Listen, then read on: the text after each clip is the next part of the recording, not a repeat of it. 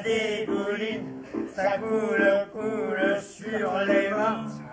Ça passe par les trous de la Et on va commencer avec un chiffre. Nous mangeons 3,9 kg de confiture par an. Ce produit, synonyme de plaisir à base de sucre, de fruits et fabriqué de façon industrielle ou artisanale, a des prix qui peuvent aller de quelques centimes à presque 10 euros. Mais alors pourquoi de tels écarts de prix? Quelles sont les différences entre les confitures, marmelades et gelées que regardez sur les étiquettes?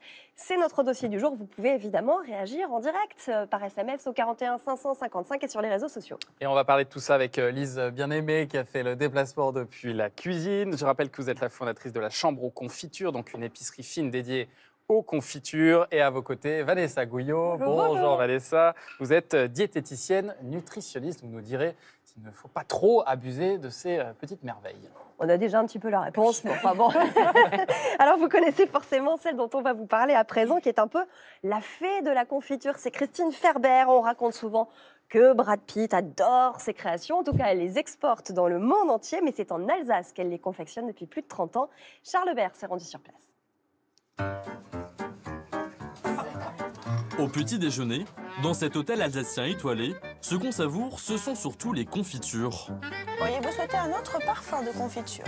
Aux fruits rouges, à la poire ou encore à l'orange, les saveurs sont dictées par les saisons et ça a son succès. Je trouve que le parfum ressort davantage que le sucre, ce qui est différent dans d'autres confitures. J'aime vraiment beaucoup. Je les ai goûtées toutes les deux, la fraise et l'abricot. Toutes les deux sont très bonnes. Cette confiture serait si délicieuse qu'elle serait même plébiscitée par le célèbre acteur Brad Pitt. Une confiture produite à quelques kilomètres d'ici, dans le village de Niedermorschwihr. Celle qui se fait appeler la fée des confitures, c'est elle, Christine Ferber. Un personnage bien connu dans sa région. Oui, Christine. Et toi, ça comment tu vas? Et qui fascine ceux qui la rencontrent. On a toujours trouvé que c'était les meilleures confitures qu'on ait pu manger. C'est dans cette boulangerie familiale que Christine a commencé la confection de ses petits pots il y a plus de 30 ans. Un jour, quelqu'un m'a apporté des griottes et j'ai décidé de faire une confiture de griottes. Et au départ, ma maman ne souhaitait pas les vendre puisque nous vendions des confitures industrielles et semi-industrielles. Et elle a refusé la vente au premier client, jusqu'au sixième client qui a acheté un pot de griotte et qui est revenu en me disant Vous devez continuer à faire des confitures, elles sont délicieuses. En arrière-boutique, Christine nous livre ses secrets de fabrication et ça commence par la sélection de produits frais de qualité. À 80%, les fruits viennent de ma région, d'Alsace, que je cherche auprès des producteurs. Les autres fruits viennent directement de producteurs français avec lesquels je travaille depuis près de 30 ans. Ces citrons, c'est un ami à elle qui les a apportés de son jardin en Grèce. Des citrons que la chef tient à couper délicatement, un par un. J'aime surtout retrouver le morceau de fruit dans la confiture. Si vous passez ces citrons dans une machine, vous obtiendrez de la purée de fruits. Parce que même une machine qui coupe va l'écraser en partie et vous ne pourrez pas obtenir le morceau. La recette de Christine, c'est un peu celle que l'on retrouve dans les livres de nos grands-mères. Des fruits, du sucre et un peu de jus de citron. Une préparation que Christine va cuire et surtout remuer sans s'arrêter avec beaucoup d'amour. Georges Sand disait, une confiture, il ne faut jamais la quitter des yeux, c'est comme un livre. Il faut toujours la tourner. Suivant le fruit, nous remuons plus ou moins délicatement, plus ou moins vivement pour ne pas altérer la texture du fruit. Si pour ces étapes, Christine est aidée habituellement par de petites mains, lors du remplissage, c'est uniquement elle qui s'y colle et elle y tient. Alors de temps en temps, il reste un petit noyau, un petit pépin, une feuille ou quelques taches sur des abricots ou des mirabelles. Et comme pendant la cuisson, c'est encore le moment de retirer cela de la confiture. Pour réaliser seulement une dizaine de pots, deux heures sont nécessaires. Et ça a un coût. Comptez tout de même 8 euros le pot de confiture. Des pots qui s'arrachent même au Japon, où Christine est une vedette. Pour ces touristes japonaises de passage en Alsace, venir ici était incontournable. You're happy to be here? Yeah, very happy. Elles sont très très heureuses d'être ici. My friends Mes amis m'ont recommandé de venir ici et de leur ramener des pots au Japon. Malgré l'engouement, Christine Ferber ne compte pas augmenter sa productivité. Elle l'assure, ses confitures resteront toujours à son image, simples et généreuses. Simple et généreuse, Lise bien-aimée, vous êtes sur ce credo, euh, vous aussi, pour vos confitures Complètement. Bon. Goûtu. C'est quoi la, la recette originale de la confiture? Est-ce qu'il y, a- y y une formule Alors la formule magique, ce sont des fruits de saison, c'est très important, Mm. euh, qui sont à un bon niveau de maturité et du sucre. C'est aussi simple que ça. Et l'ingrédient principal, c'est le fruit ou le sucre? Alors si on veut que c'est un bon goût de fruit, il vaut mieux que ce soit du fruit. hein. Ouais. Euh, Serge nous dit j'achète ma confiture en supermarché, je la trouve aussi bonne que la confiture euh, artisanale. Euh, vous vendez vous aussi vos produits en supermarché? Alors non, nous, on vend dans nos propres boutiques et en épicerie fine. Euh, après, c'est une- une question euh, ben, de goût, de teneur en fruits, de qualité de fruits, euh, de combinaison. Parce que c'est pas le même euh, produit que ce- ce- les Non, ce sont ceux pas- du supermarché? Non, non, non, non. En fait, on a vraiment une qualité euh, initiale du fruit qui est euh, différente. Le fait qu'il soit euh, aussi cueilli à maturité va changer beaucoup de choses, puisqu'en effet, ça nécessite une main euh, de l'homme euh, bah, des étapes beaucoup plus importantes dans l'épluchage, la préparation, la découpe, ce que ne va pas forcément bien faire euh, une machine sur des Les industriels cela. peuvent pas faire ça aujourd'hui? C'est-à-dire que pour vous, en supermarché, on ne trouve pas une bonne confiture? Je ne les ai pas toutes goûtées, très sincèrement, euh, mais après, ben, je donne un exemple tout bête. Euh, si vous prenez une poire euh, mûre, l'éplucher en machine, c'est impossible. L'éplucher à la main, ça prend du temps. Ouais. Voilà. D'accord. Et vous, vous faites tout à la main?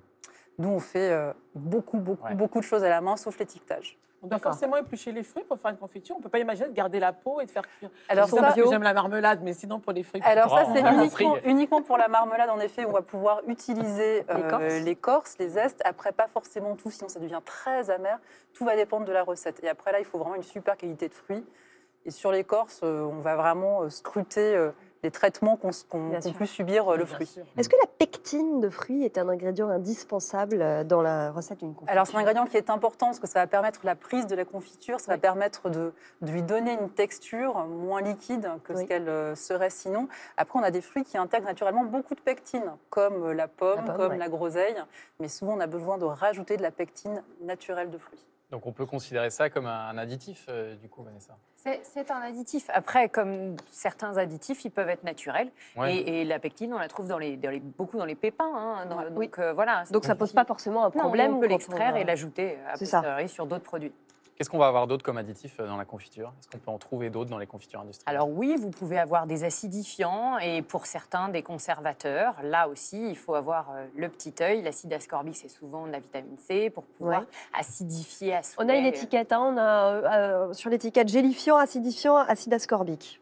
Eh ben, Voilà, ça vous pose voilà. un problème Donc euh, le gélifiant, on voit que ce sera de la pectine de fruits, donc là, pas de souci, c'est naturel. Ouais. L'acidifiant, l'acide citrique, c'est du citron, tout simplement. Ouais. Et euh, l'acide ascorbique, un peu de vitamine C pour euh, venir acidifier un petit peu. Donc là-dessus, il n'y a pas de problème. Sur Aucun confiture. souci. Ouais. Et globalement, pour vous, la confiture ne pose pas de problème nutritionnel particulier? Alors la confiture, comme on le disait si bien, c'est du fruit, mais ça reste aussi du sucre. Allons sur une consommation modérée, ça va être euh, bien plus euh, efficace pour la santé et pour l'équilibre alimentaire. Ça veut dire quoi une, une consommation modérée? Par exemple, au petit déjeuner, qui est quand même le grand classique de la confiture. Par exemple, Gérard, il prend une, une, une baguette. Demi-baguette déjà. Oh, une demi-baguette. Demi-baguette. Raisonnable. Demi-baguette. Alors, on va, on va mettre euh, un, un produit gras, donc euh, du beurre ou une margarine, Ouais. et ensuite on pourra a- associer une confiture ou du miel. On n'est pas non plus toujours obligé d'avoir un petit déjeuner sucré, on peut l'alterner avec euh, d'autres apports. Et si on apporte euh, de la confiture, eh bien, je dirais qu'il faut à peu près, allez, pour vous montrer, on va dire, voilà. Allez, généreuse la Oh, Sur cuillère une à café. demi-baguette? Ça fait pas Alors, beaucoup. Alors, ça, ça c'est la portion recommandée. Ouh, c'est bien, elle, elle dégouline un peu, elle, elle manque de pectine. Euh, c'est, c'est- voilà, on est sur à peu près l'équivalence de deux Ah, carrés de sucre. Là-dedans, il y a D'accord deux carrés de sucre Voilà, là-dedans. exactement. Et il ne faut manger que cela au petit déjeuner. Alors, ça dépend de qui vous êtes. La- Je suis moi. Gérard, Michel En dépensant ce que vous me dites que vous dépensez, puisqu'on parlait de marche euh, juste avant qu'on commence à discuter, peut-être que justement, si on a une vraie activité dans la journée, pourquoi pas deux Mais Ah oui. n'allons Deux, pas. c'est oui, tout. Oui, Voilà. quatre, quatre carrés Oh, de vous sucre êtes dur, a hein. C'est c'est l'équivalent euh, de, de- de ce que pourrait nous apporter euh, une banane. Et alors sur cette confiture de fraises euh, basique, euh, on voit sur l'étiquette, on a 60 grammes de sucre. C'est la moyenne, euh, 60 grammes de sucre dans les pots de Alors c'est confiture 60% de sucre, ce qui signifie 60 grammes au 100, 100 grammes. grammes. Un pot de confiture, c'est aux alentours de 300, 400 grammes. Donc il y a euh, plus que ça. Il y a quand même un peu de fibres, 1 gramme. Oui, c'est- ce sont des fibres issues euh, du fruit lui-même, si Oui. on a utilisé euh, le fruit directement. Ça, mal. Sinon, un peu de pectine apportera aussi euh, quelques peu de fibres. D'accord. Euh, Qu'est-ce que ça signifie l'appellation confiture artisanale? On voit ça marqué parfois sur les produits, y compris les produits qu'on va trouver en supermarché. Alors artisanal, c'est vraiment un cadre légal, c'est-à-dire que la personne qui fabrique la confiture doit être inscrite au registre des, de l'artisanat et des, et des métiers. Euh, donc, D'accord. Voilà, c'est simplement ce, ce cadre-là, ça ne veut pas forcément dire qu'il y a un savoir-faire spécifique. C'est une recette, en fait. Une confiture artisanale, c'est pas une recette Non, particulière. non, non, non, absolument pas. Et alors ça, en revanche, ça allait peut-être une confiture qui va être cuite au chaudron. Tout à fait. Alors au Là, chaudron, ça veut dire quoi? Alors, c'est un sujet sémantique aussi. Ben, le, cha- le chaudron, c'est une marmite à fond épais, donc on ne se précise pas forcément si c'est euh, en cuivre, en inox. Je pense que là, on est plus dans une approche peut-être un peu, un peu marketing, construire une histoire, mais bon, quoi qu'il arrive, euh, on, on- on cuit dans des, dans des marmites de plus ou moins grosse taille. Moi, en l'occurrence, c'est des marmites de euh, 4 kilos, ce qui est très très peu, Ouais, en inox. en inox, qu'on d'accord. ça Ça, ça implique du coup, j'imagine, forcément un surcoût important pour vous. Ouais, tout à fait. Euh, quelle, quelle est la euh, différence de prix entre ce qu'on va trouver en supermarché et ce qu'on va trouver dans, dans votre boutique Alors nous, on va être beaucoup plus... euh, alors du fait de notre teneur en fruits qui va être plus importante et du fait de cuire en toute petite quantité, et d'avoir beaucoup de mains d'hommes Ouais. au long du process, on va être à peu près sur 7,50 euros un pot de 200 grammes contre un Ouais. pot de 370 grammes qui sera plutôt autour de 2,50 euros. D'accord. C'est ça. Marie nous dit marmelade, gelée et confiture. Quelles sont les différences exactement? On y vient. On a ici hein, euh, sur le plateau euh, effectivement gelée, marmelade et confiture. Euh, Victoire, tu t'es un petit peu penchée toi sur toutes ces appellations. Et Parce que ce qu'on ne sait pas forcément, c'est que c'est très encadré. On ne peut pas utiliser le terme comme ça, confiture, gelée, marmelade, quand on veut. Il y a un cadre rég- réglementaire qui est assez strict. En fait, ce qui différencie, c'est euh, la teneur en fruits et aussi le, le- le- la forme, l'aspect des Mm. fruits qui sont incorporés. Si on commence par exemple par la confiture, il faut au minimum 35% de pulpe ou de purée de fruits. Ça veut dire que 35%, ça veut dire qu'on aura 35 grammes pour 100 grammes, comme on disait tout à l'heure, pour Ouais. 100 grammes de confiture à la fin. 35% de fruits, c'est pas énorme. en Pas tellement. Eh ben non. C'est très peu. Et si on on que a, c'est au moins, ça veut dire qu'on peut avoir plus, mais il ne faut pas que Ouais, ce soit ouais. en dessous. Et si elle est extra, cette confiture, c'est au moins 45%. Ah, donc Elle Ah, est extra, déjà, donc il y aura ouais. davantage de fruits. Ouais. Si on part sur la gelée, on aura la même, confi- la même confiture, la même quantité de, de fruits que dans la confiture, mais Ouais. c'est l'aspect qui va être qui va être différent de la gelée, comme le nom l'indique, c'est plus gélifié, c'est plus Ouais. aqueux. c'est le jus, t'as pas la, t'as pas la quand on, le, peu on, le- quand on consomme une gelée, on voit bien que c'est quand même très très différent de, de- de l'aspect. Et quand on va sur la marmelade, alors on a moins de fruits, il faut 20, 21% au minimum, ça peut être plus, mais surtout, comme on dit tout à l'heure, on a l'écorce qui donne cet aspect particulier, ces morceaux que j'affectionne particulièrement, vous l'avez compris. Je crois. Ouais, ouais. Le message est on aura passé. plus, voilà. Après, dans tous les cas, on a quand même toujours une, quan- une quantité de sucre qui est D'accord. importante, Ouais. au moins 55%. La question que je me posais, moi, c'est que vous disiez que vous mettez moins de, de sucre, mais du coup, est-ce qu'on conserve moins bien vos confitures ou ça n'intervient pas à ce niveau-là? Alors, nous, nos, nos confitures, quand elles sont euh, fermées, elles se conservent euh, en gros à peu près deux ans. L'idée aussi, ben, c'est de les manger, enfin, on produit très régulièrement pour euh, justement qu'elles n'attendent pas trop longtemps. Euh, voilà. Après, c'est vrai qu'en termes, en de sucre, nous, on va être beaucoup plus faible à tel point que on a l'appellation préparation aux fruits et pas forcément Ah, confiture. confiture. Exactement. On préfère sortir du cadre pour avoir Tout- plus le goût, le goût qui nous Ouais. plaît. Ouais. Et sur le plan nutritionnel, Vanessa, entre la gelée, la marmelade, la confiture, euh, laquelle va être la plus intéressante? On est quasiment à équivalence. Ouais. La marmelade pourra être assez souvent un tout petit peu moins sucrée, puisque ce que les gens recherchent dans la marmelade, c'est cet aspect euh, acidifié. Ouais. Donc l'industriel ou, l'artisanat peut se permettre de mettre un peu moins de sucre. Mm. Donc voilà, on va, on, mais sinon on arrive à peu près à Très équivalence. équivalent. Ouais. On dit que la confiture se, se conserve très bien, vous le disiez, mais euh, une fois que le pot est ouvert, au bout de combien de temps on doit absolument le déguster? Alors, c'est là vraiment qu'on va voir la différence en termes de, la- de teneur en sucre. Moins il y a de sucre, plus elle, va, euh, elle risque de moisir rapidement. Donc déjà, une fois que le pot est ouvert, il faut le conserver au frais, c'est très important. Euh, et ça peut aller de deux semaines jusqu'à, bah, Ah oui. pour les plus sucrés, euh, trois mois, Ah quatre oui, mois. c'est pas Et si un peu de moisissure sur le dessus, on l'enlève, on, On peut continuer à la ouais. consommer, hein, on est Ouais, d'accord. Euh, Jennifer nous dit, et les confitures, est-ce qu'on peut en faire avec tous les fruits? On peut absolument utiliser tous les fruits pour faire de la confiture. Après, ils ne sont pas forcément tous appropriés d'un point de vue gustatif. Il y a donne quand même des fruits qui sont plus propices à. Tous les fruits rouges, les Oui. fruits jaunes, tous les fruits du verger, c'est parfait. Des fruits qui s'y prêtent moins sont des fruits dont on aime le côté désaltérant, par exemple le melon ou la pastèque. Ah oui. Dès lors qu'on les cuisine en confiture, c'est un peu liquoreux, on perd un peu ce qu'on aime dans ces fruits-là. Euh, on, va faire des, on peut faire des mélanges aussi avec euh, des fleurs. C'est ce que vous faites, vous, parfois? Alors oui, on peut le faire avec des pétales de fleurs, avec des arômes naturels euh, de fleurs, de l'eau florale, avec des huiles essentielles. Là, on a une rhubarbe géranium, on Ah ouais. une framboise pétale de rose. Oui, il y a de quoi s'amuser. On a fraise tonka, la tomate verte. Ah, Une, une téléspectatrice nous dit qu'elle adore, c'est sa confiture préférée, La celle que tomate. fait sa maman à la Ouais. tomate verte. Ouais. Ouais, c'est Alors, tomate verte, en général, c'est vraiment euh, la Madeleine de Proust. hein. C'est, Alors, l'histoire de la tomate verte, c'est que ce sont les tomates, en fait, qui, en fin de saison, ne mûrissent plus sur le pied. Et comme on ne veut pas les jeter, on va les cuisiner en confiture. D'où cet, euh, ben, cet, cet aspect. C'est vraiment une confiture euh, plus ancienne, on va dire, Ouais. euh, qui, qui est plus sur des générations qui l'ont goûté avec leurs parents ou leurs grands-parents. c'est ça. Gérard, tu veux tester? Euh, La tomate verte J'aime vivre dangereusement. Oh, bon, dis donc. Comment peut-on s'assurer que les fruits utilisés dans les confitures sont français? C'est Jeanne qui vous demande ça. D'où ils proviennent vos fruits?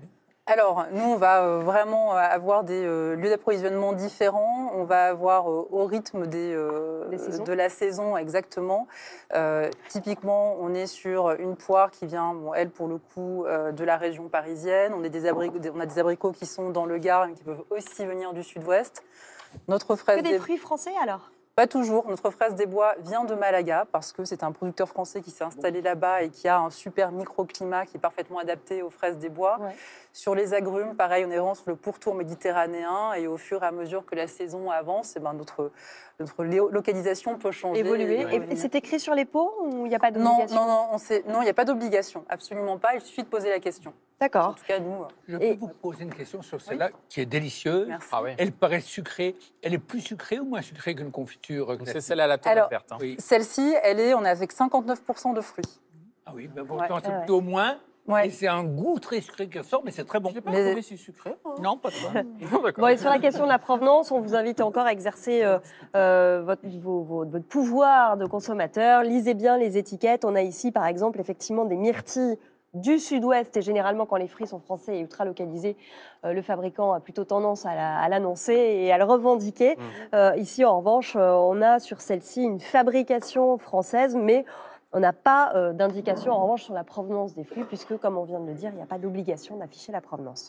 Euh, on a certains pots euh, qui proposent du sirop d'agave à la place euh, du fruit. Qu'est-ce que vous en pensez Est-ce que c'est une bonne alternative? Le sirop d'agave, tout comme le miel, c'est du sucre.